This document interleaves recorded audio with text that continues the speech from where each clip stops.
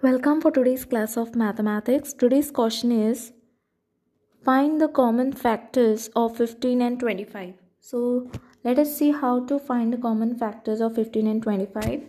So first thing what I are going to do is take down the question. Find the fact uh, find the common factors. Okay, you have to find the common factors of 15 and 25. Now let us see how to find the common factors. So first first thing is that you all can write down factors of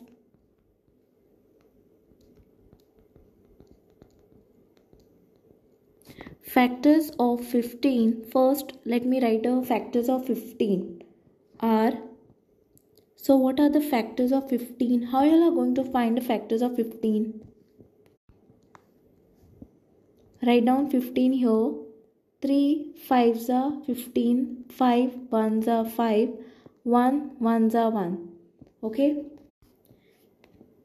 So basically these are the factors of 15 what are what are they 1 comma 3 and then 5 okay? So i can write down the factors of 15 1 comma 3 comma 5 5 and 15 itself right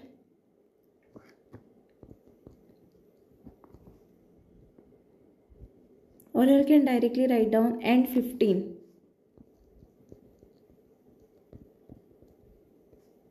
now let us see the factors of 25 okay?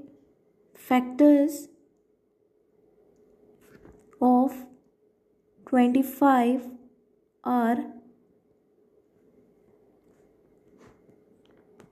now let us see what are the factors of 25 write down 25 over here.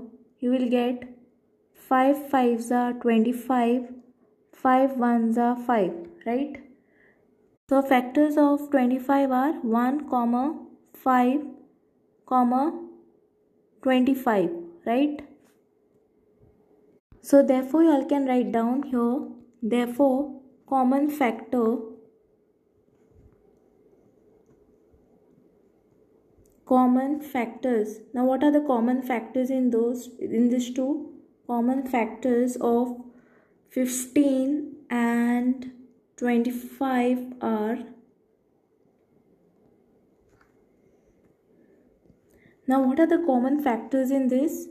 Here you all can see what is common. 1 is common in both and next number is 5 is common. So you all can write down 1 and 5 okay? So therefore the common factors of 15 and 25 are 1 and 5 because here 1 is common in this 1 and 5 is common. 25 is here but here 25 is not there okay? So i hope you have understood how to find the find the common factors of 15 and 25 and thanks for watching